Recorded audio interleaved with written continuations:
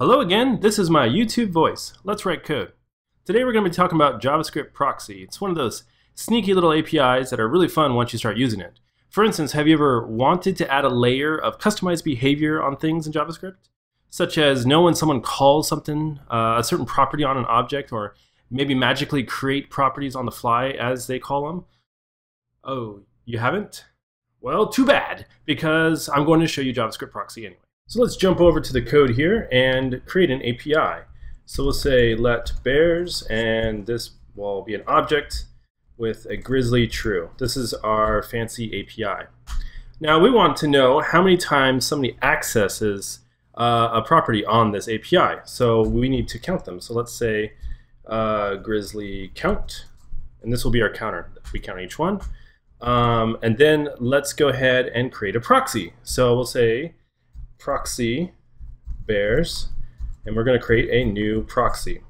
So then what we're going to do is we're going to feed it our API, uh, which is bears in this case, and then we're going to feed it a handler object uh, of all the different things, all the different ways we want to tap into it. So we want to know when someone accesses properties on this API, such as this property grizzly here. So we're going to provide a handler or a trap called get. And so every time this trap is going to get called, it's going to provide us with the target, which is our original uh, API that we're provided here. Um, and then it's also going to provide the property uh, here that we're trying to access. So then we simply just need to determine if we only really want to count when they access the grizzly property. So we'll just say, does the property equal uh, grizzly? So does it equal grizzly? If it does, if they're accessing this grizzly property, then we want to increment our grizzly count. And we still want to give them the property, the original property itself. Uh, we don't want to give them undefined. So we're going to return the property off of the target here, off of the original object, and give them the uh, give them the thing that they wanted in the first place. So now what we can do is we can use our proxy bears, our, our proxy here, and we can access this grizzly property here. And so we'll just access it one, two, three, four times to test it.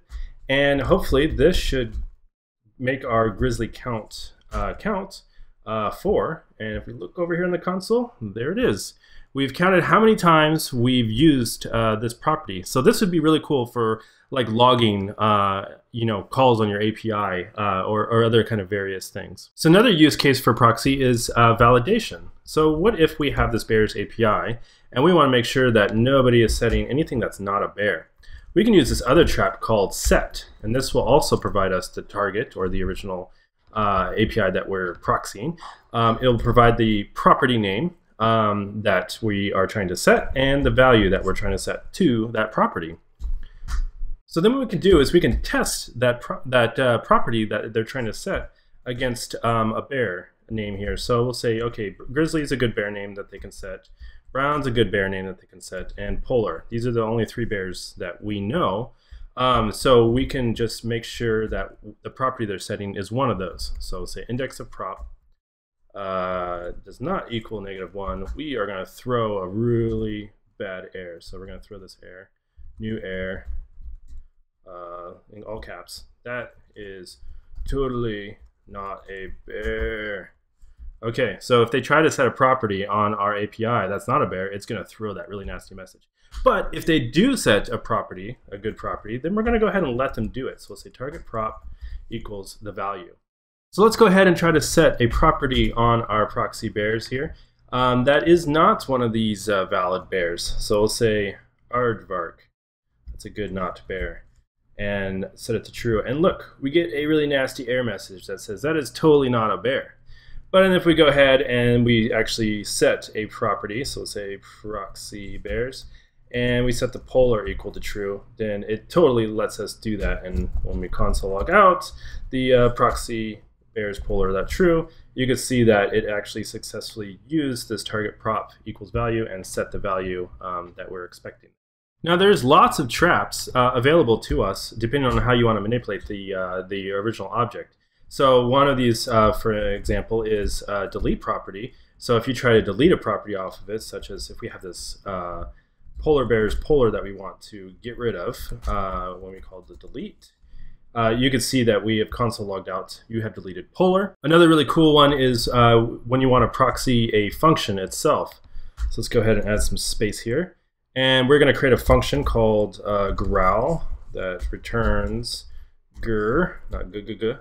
Um, and then we're going to create a proxy called loud, if I can spell it, loud growl, new proxy. And we're going to proxy that function instead. And so we want to know when this function is called, so we're going to use the trap called apply. And so apply will provide us with the target or the original function itself and uh, the this argument, the context it's in, and then the arguments provided uh, to that function, which we're not using. Uh, so what we want to do is we want to call the original target function, this original growl, and we're going to get the value that it returns from it.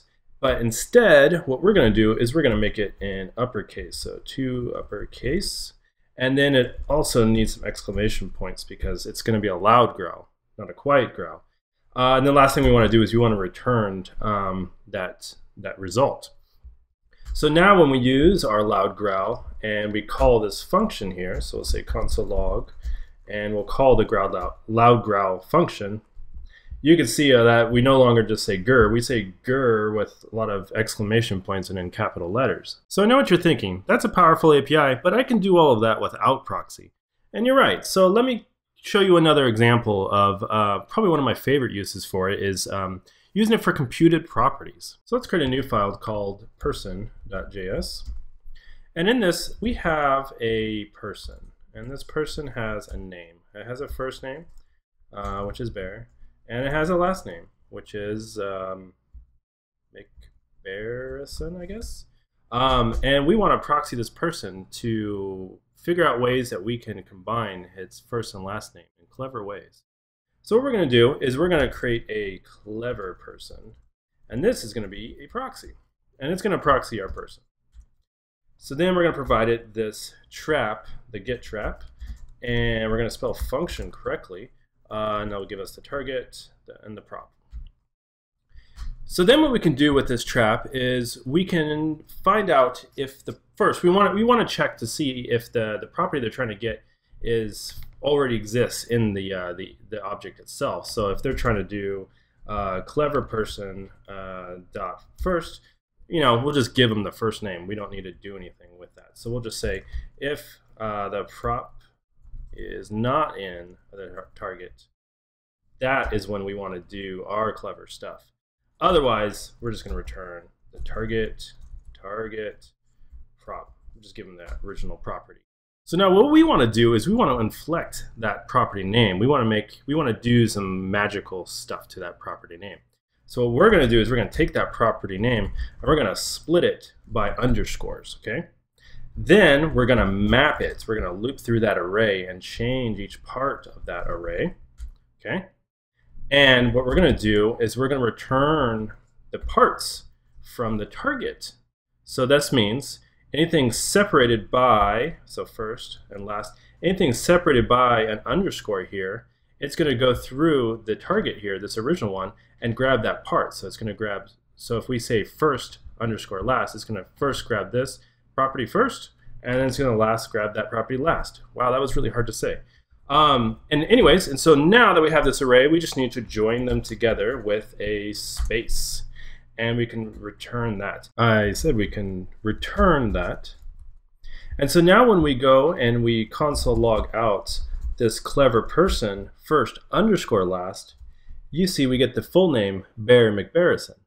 And if I wanted to change it, so I wanted maybe the last name first, I can say last underscore first and you see magically our uh, our bear is now last name first McBarrison Bear. Or we can do something even more ridiculous like last first first first first first, and you can see we're now McBarrison Bear Bear Bear Bear Bear.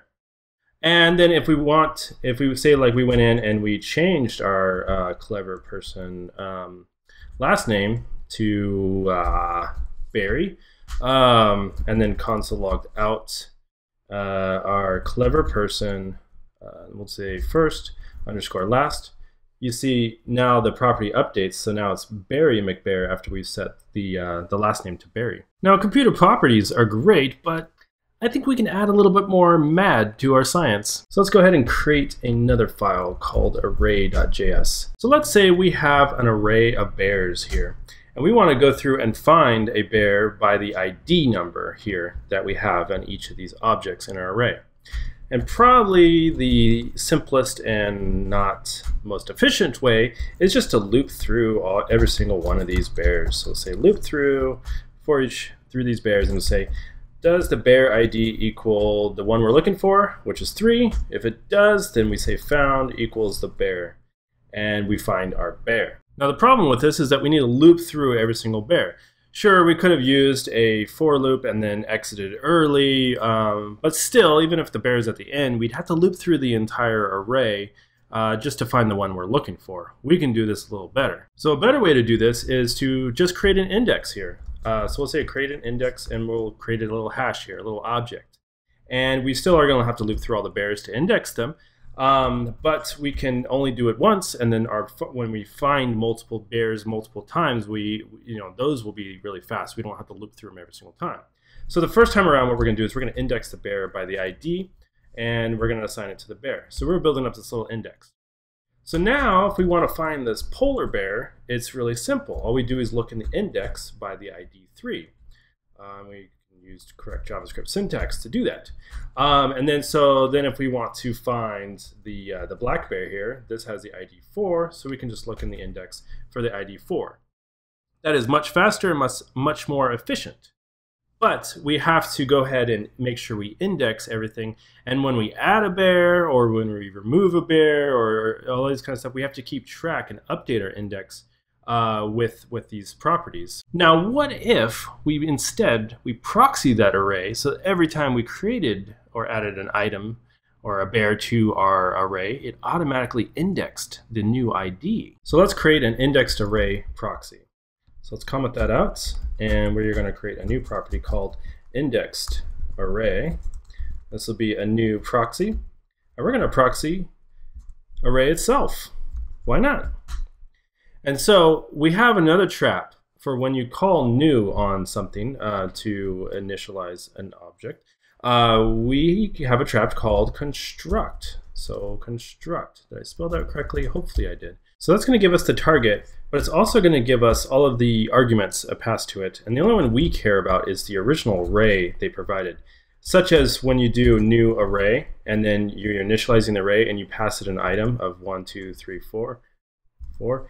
Um, we only care about this array. Um, for this for this proxy example. Okay, so with that original array, we want to go ahead and index it first because they they are passing in this original array, and we want to loop through any of the existing values and make sure we create our index. So we'll say const index. We'll create a little hash there, and then we're going to go through that original array and we're going to index it. So we'll say function item. Um, and then index, we're going to index by the item ID and assign it to the original item there. So now that we have an index of our original array, we can go ahead and create our new array that we're going to return. So let's say new array, and we're going to use our target, which our target is the original. It's going to be the original array here. So we're just basically it's the same thing. New array is basically saying new target. Um, but what we're going to do is we're going to then pass it our original array um, parameter that we, uh, we have passed in. Cool. So the next thing we need to know is when they push a new item to this array. So what we're going to do is we're going to do some proxy in, inception here uh, by saying new proxy. And we're going to proxy this new array that we already have within our own proxy.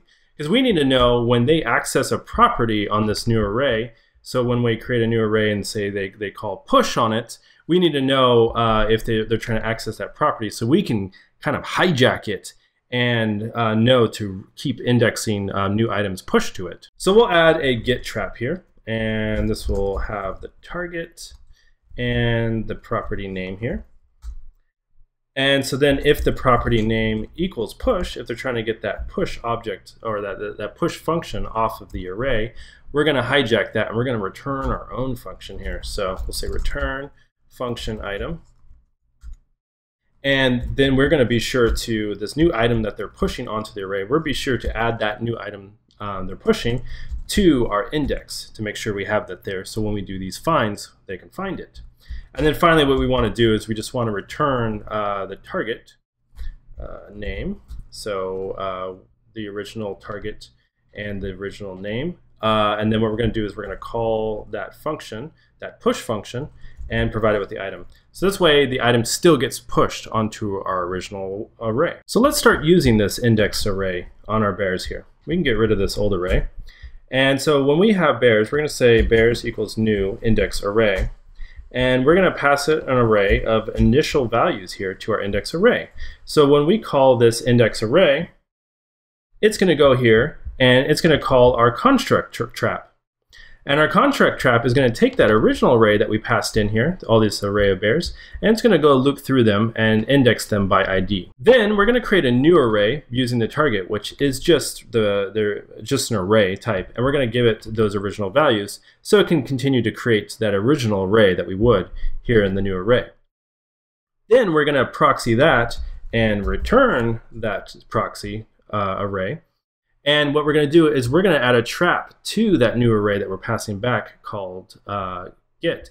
And what we're going to do is we're going to look for any time that they try to get the push.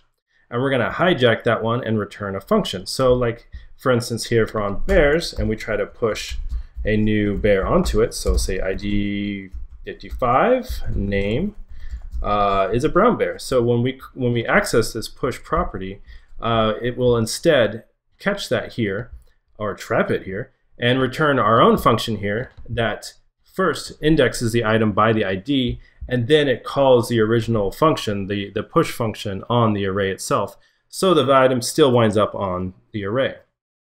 So the next thing we need to do is we need to be able to find items by the ID. So if we're down here and I want to find this brown bear that I just added, so let's say const brown, uh, and I can say bears find by ID, and the ID is 55. I want to implement this function here. And since we already have this trap here on our proxied array, uh, we can just go here and say else if the property name here equals find by ID, we can return our own function that they search by the ID, the search ID.